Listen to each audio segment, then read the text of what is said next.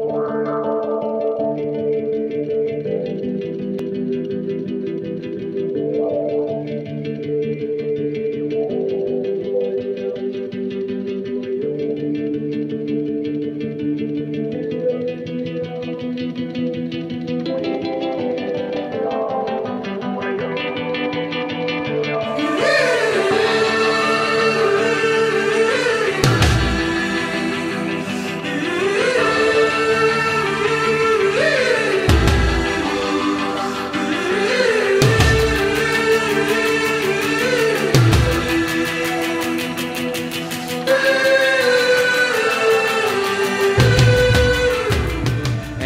appreciate the challenge ahead, it's probably best to start with the consumer base that's likely going to influence much of this change, which are the millennials.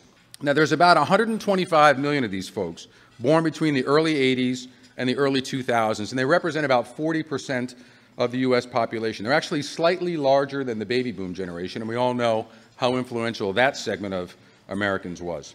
We have been able to identify many things that have shaped who they are and how they think to better understand what will resonate uh, with them uh, and to motivate their actions. And we found that there are several big themes that are common with the millennial market or the uh, millennial audience segment. First off, the economy is really a big part of what shaped these individuals, most specifically the recession. They're much more concerned with money matters and finances than any other generation of people their age before. They grew up in families where parents are much more likely to discuss home financing around the dinner table, and they actually believe that for them to thrive, they've got to do at least as well, if not better, than their parents in understanding finances and how to manage their own financial well-being. They're also putting off life stages in a way that no segment of their age has in the past. Many of them, as we've all heard, are actually getting married later. And they're putting off even smaller life decisions like getting a driver's license. Technology has profoundly shaped who they are and how they think. It isn't just a part of their lives, it is their life. They are true digital natives. And they live in a life where mobile phones and social now offer the freedom and interpersonal connectivity that you could only once get from getting a license and driving a car. This is a generation of people that self-publish multiple times a day and have less concern over privacy than any generation that's preceded them. All of this technological engagement actually has neuroscientists believing that it's altered the way millennials actually think. So the good news is that it offers people the ability to be able to multitask in a way that they never have before, but it comes at the expense of their attention span. So they have very, very, very little time for a marketer to offer them a message. We have to work a lot harder to get their attention. Breaking through to Gen X and Gen Z is uniquely challenging. We'll need to understand these key motivators if we're going to create the kind of digital experiences that can form deeper relationships with brands of all kinds. For a hundred years, the type of journalism we get is simply determined by two things, technology and economics. That's it, technology and economics. And we're in this phase now where technology economics are just changing everything again. It's my humble opinion that on the web, in the news business, production value is less meaningful than individual voice and authenticity. And that's the world that we'll be moving into in the web the social web, as well as the smartphone. The new newsroom is very complicated, but I'm going to tell you it's very simple. Data. Every line that you see there is some sort of piece of data that's flowing back to somewhere. It's flowing back to an editor. It's flowing back to a producer. It's flowing back to a um, writer of the story. It's constantly going through the newsroom because that data is telling you what people are interested in, what people want, and it's also telling you how to fulfill different marketing campaigns that you have. It's informing the types of content people you want. It's informing the type of audience that you have. It's constantly flowing through there. Cultures need to change. And if we've done anything at Forbes, we've changed the culture of publishing. And the culture of publishing used to be very top down, and now the culture of publishing is very audience up, understand the data, and move it on up and move from there. Now, that type of publishing model, the data does not rule what you do. The data informs what you do. I grew up in the world 40 years ago. We simply did not care what the audience thought. it was only about the journalist. Well, it's all very different now. It's all about collecting it very, very differently. It's about producing it very, very differently. Individual brands, building audiences under their own names. You are responsible. You don't need editor after editor after editor. The social web is a, is a self-correcting mechanism. If you get it wrong, someone's going to find out and your brand is dead. If you get it right, people love you and your brand is going to survive. That's what I mean by producing it differently. It's going to be moved into the hands of individual content creators. The most successful people who are working for us now understand the tools of social media and are building audiences. And it's very interesting to me to watch traditional media companies unable to deal with this. They actually prohibit their employees from tweeting or prohibit their employees from doing certain things like that. This is the world that we need to get into because that's the type of that's the type of content that the audience is respecting when you are actually engaged and passionate about it. And we live in an audience today, whether you're generation, not quite Generation Z, because they're too young to think about it, but the social audience wants you to be passionate about what you think and passionate about what you do as long as they know what your agenda is. If they know what your agenda is, they're okay with that. And if they can talk back to you, they're okay with that too. I think the greatest challenge for the folks in this room is the authenticity of it all and the realization that you really don't have any control whatsoever. Because the audience wants it a very different way. Not spun, not slickly produced, but kind of real and kind of authentic. And I'll go back to a younger uh, age, and I have a little bit of a window into this world because my wife works with um, tweens and teen girls and amplifying their voices. And it's very interesting to watch because they're not as much about technology as you'd like to think they are. They want to make a friend. And sometimes that friendship offline is way more important than what they find online.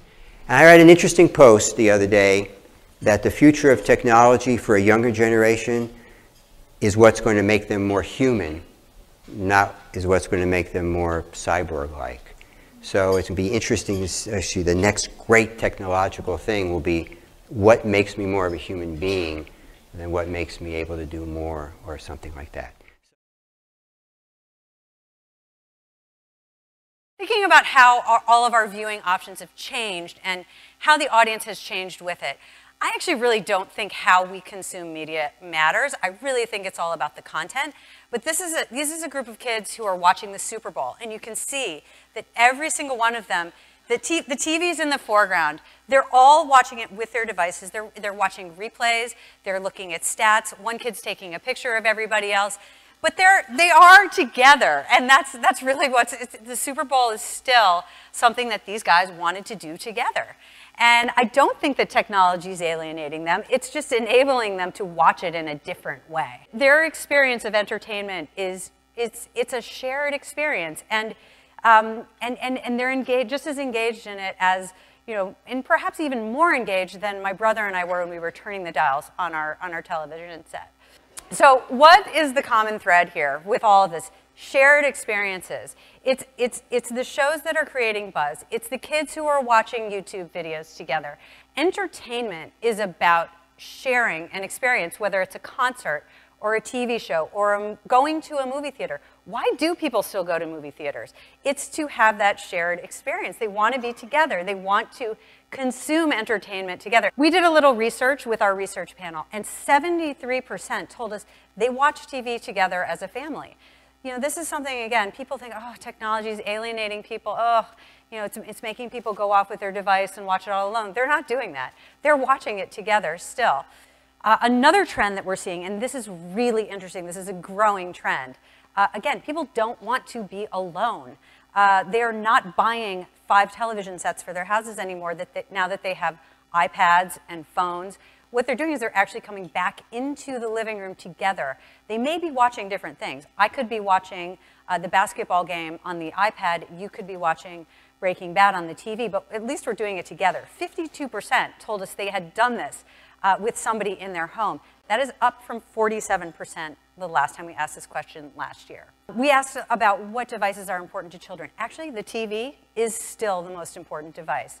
Smartphone's a close second, but TV is, is, is, a, is a very important device. They like watching shows on TV the best. They wouldn't prefer to watch it on a phone or a tablet if they have the opportunity to watch it on a nice, giant, wall-sized screen. These platforms have absolutely changed um, the way that we consume media.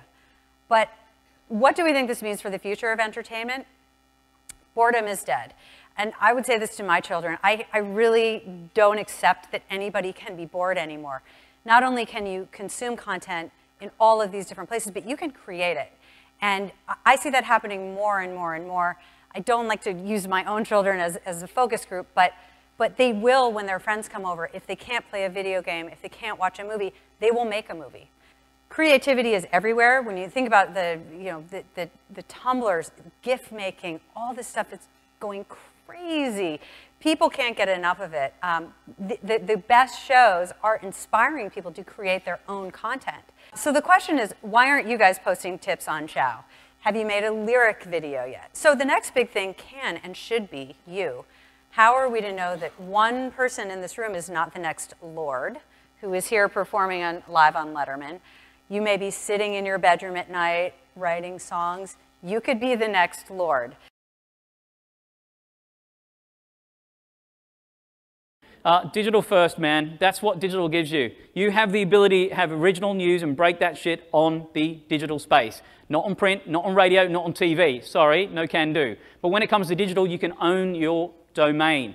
People live, communicate, entertain, and get information differently today than they ever have. Your ideas have to come big, new, and fast. So the reality is there's a switch that comes on, we find it hard to switch off, where we're just one click away from our inner personal thoughts, meaning personal expression is a new form of entertainment. And you know that um, and we also know that it's all about transparency. So brands need to think transparency because it's now about the open domain. You're no longer the curator of content, get that out of your noggin. You are a curator of conversations. And what's also interesting is that if you get it right, context still matters, and it matters desperately. So putting content in good places is really important for you. People will make decisions emotionally and they justify it rationally for every single product, whether it's a $5 bottle of wine Ooh, that's shitty. $5 bottle of water, perhaps, um, and a you know $50,000 car, we make the same emotional decisions. You guys are still running around saying it's all about likes, man. Likes is rubbish. I mean, back in the day before Susan and I could be friends, she'd have to confirm my friend request. That's the skin in the game. But now you can like my shoes, my belt, my bag, my jacket without liking me as a whole. It's diluted. So here come the verbs, dude. It's going to be share, want, purchase, desire. They're all coming at you to determine what your social currency is. Do not wait for the industry to tell you what it is. Determine it per brand. That's very critical for you. Uh, social bad though, KLM Airlines, sorry if you're in the house, but check this shit out. I used to be able to check into my flight by checking out somebody's Facebook and LinkedIn profile. That shit's called stalking. Don't do that. and you got this thing here. This is uh, the country of Sweden. This is brilliant, man. They're so confident about their brand, they will give you the keys to their official Twitter account for a week. That is brand confidence, no doubt. However, I would argue that the world is still completely overwhelming, then it becomes underwhelming, because the sixth largest contributor to stress today is media. You're being hit by 1900 media messages per day, my dear friends, and it's not slowing down. And what's also interesting is tastes have changed, haven't they? We heard this, and Christy said it beautifully, which is advertising doesn't do what it used to do, man. Contrived in your face advertising is now different. Brand presence is the shit. If you can get that right, it really means that you can have this amazing attention economy. You can build advocacy on these new platforms, I kid you not.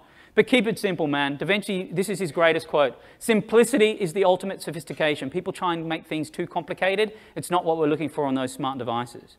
But why I love it as a marketer? I love it because it gives me location, location, location. If you're between the ages of 18 and 27, you're the heaviest check-in culture, which basically means the when, where, and what you're doing is an extension of your social bragging right. Now, why I love it is I'm aware of what people are doing in the context of what they're doing it in, and it's got data soaked. Now, why that's really important is you can't do that in desktop. It's a very different experience.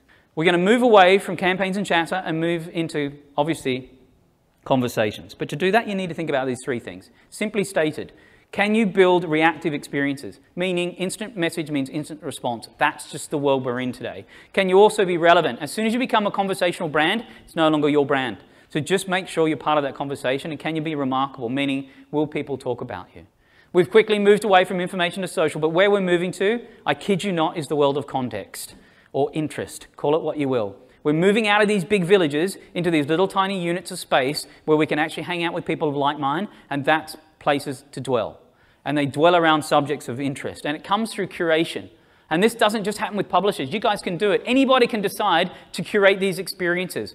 Think of fab.com, think of Vacationers, think of Jetsetter. What they've done is they've orchestrated these discovery engines for us to feel like we can actually have more time in the day because they've curated these experiences for us. And context is going to matter. Contextual recommendations will be hot over 18 months, I kid you not. So I have a lot of friends in my social network, but guess what? I don't think all my friends have great music taste. But I care about other tastemakers telling me what that should be. So contextual recommendations will be coming outside of music. Participation. We want participation to happen because it means people have more opportunity to talk about our brand. But we have to move away from typing commentary. And what we want to do is want to move to photos, audio, video, and in real time. That means that the real value of the social web and the participation web is actually going to open up for us.